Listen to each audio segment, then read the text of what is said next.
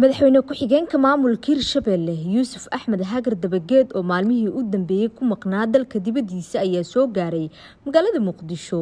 Garoonka aadan cadde waxaa ku soo dhaweeyey xildhibaano ka tirsan labada aqal ee baarlamaanka federaalk soomaaliya kuwo ka tirsan hirshabelle mas'uuliyiin xilal kala duwan ka haysa dowladda federaalk soomaaliya iyo bulshada qeybaheeda kala duwan.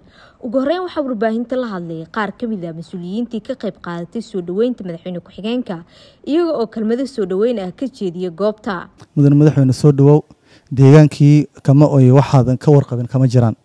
Haddii ahaan leed fatahaado iyo haddii ahaan leed culeysyada jira argixisada iyo haddii ahaan leed culeysyo siyaasadeed oo ku heeraarsanba oo iyadan in layska talaysto oo layska wareysto u baahan xildhibaano hirshabeelle wasiirada hirshabeelle sanatarada aqalka sare iyo aqalka hooseba iyo saraakiil ciidan dhammaan reer hirshabeelle meel walba ay joogaanba maanta waa ay ku wada idin lihiin soo dhaweyntaada.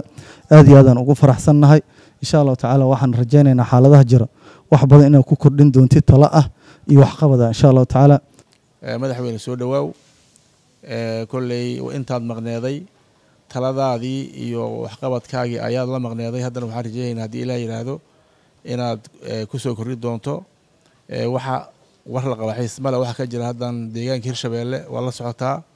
Waxyaabaha ugu dhib badan haddaan soo kordhay afar labatan soo dhaafay waa fatahaado. Wax badan qaribay waa wax un haddaan bini aadan samayn laakiin lala rabo in dacaalo haddii ilaah yidhaahdo. Waxaad ku soo laabatay dalkaadii waxaad ku soo laabatay dadkaadii wixii jirana kolley lagaaga sheekayn maayo hadday tahay hirshabeelle iyo hadday tahay banaadir intaba waa ka warqabtaa dalkao dhan. Waxaan kugu soo dhaweyneynaa salaankal gacaltooyo. Maanta sidii loo soo saftay siyeed saac ilaa hadda waa la taagan yahay. Waad dareemi kartaa marka soo dhaweyntaada qaymaha ay leedahay iyo dadkaanu siday kuu jecelyihin amay kugu dheer yihiin. Sidaasaad ku garan kartaa. Marka adigana insha allah safarkii aad ka timid mid khayr qaba allah ka dhigo. Mudane madaxweyne sida warbixinta lagu siiyeba fataahaduhuna waa jiraan. Ree hirshabeellena kursigaa u soo siyaaday sidaa og tahayba gaar ahaan ree hiiraan. Marka waxaa waaye waxyaala badan farxadna waa jiraan waxyaala xoogaa ayakuna maaragtayay fatahaadihii waxyaala iska wataana waa jiraan. Marka marka haddii ilaaha yidhaahdo wax walba insha allah waxaa moogtahana maba jiraano wax walba waa la socotaa marka madaxweyne mar labaad iyo mar saddexaad ba ku soo dhawow caasimadaadii.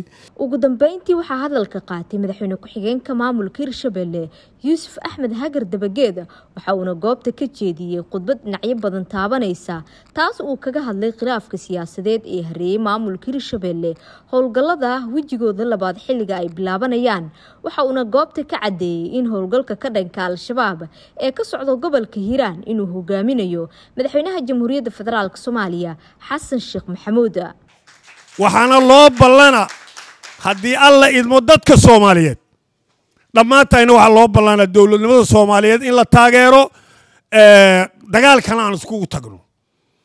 Qofkaan dagaalka maalkiisa iyo naftiisa iyo dadaalkiisa ku bixinayno ilaahay idigu dhaarshee ilaahu naga qaba ma dhihi karnee ilaahay idigu dhaarshee halalugoynaha dagaalka halagalugoynaha macawisleyda xalay aad u qaylisay macawisleydii hirshabeelle joogta xalay aaday u qaylisay macawisley mar labaadaan idigu celinaya raalli ahaada raalli ahaada.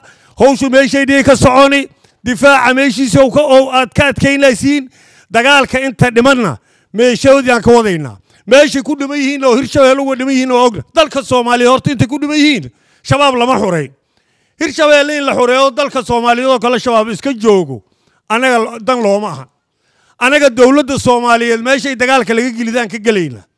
Dowladda soomaaliyeedana dagaalka hogaaminaysa guusha laga gaaray al-shabaabna dowladda soomaaliyeedana uga mahad dadka soomaaliyeed oo kala shaqeeyana asigana waa uga mahad celinayna. Macawisleeya marka door muuqdaa dalka soomaaliyeed ku leedihiin.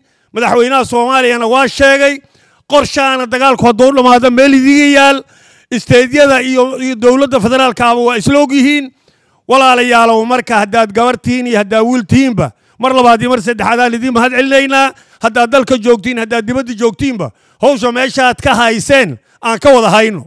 Waxa shalay duqu sheego oo xoogaa si kale idila noqdana ma ahan saas. Saas ma ahan saas ma ahan anigaa idin dhehayna mana ahaa doonto. Waana arki doontiin isbuucan gudihiisa haddii alla idmo